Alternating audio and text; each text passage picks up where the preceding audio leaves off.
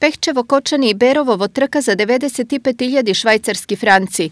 Проектите за уредување на пехчевските водопади, реконструкција на ски лифтот на Пониква и изградба на дом за стари лица се трите од понудените 8 проекти кои ги минаа сите филтри и се покажаа како најконкурентни на серијата форумски сесии.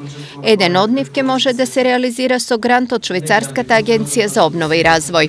Сега останува на комисијата за еволуација од проектот да одлучи кој од овие три проекти ќе може да се isfinansira и кој од овие проекти има најголемо значење за развојот на регионот. Кој од трите проекти ќе биде понуден како приоритет ќе се знае до крајот на овој месец.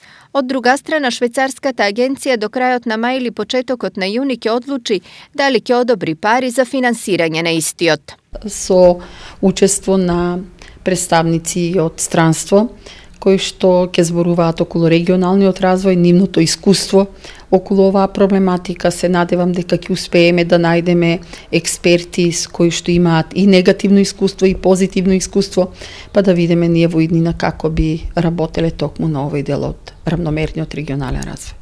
Измеатиот период на три одржани сесии од форумот на заедници 11 општини од овој регион понуди 8 проекти, од кои ќе биде финансиран само еден. Став на швајцарците е да финансираат по еден проект во сите 8 плански региони во државата.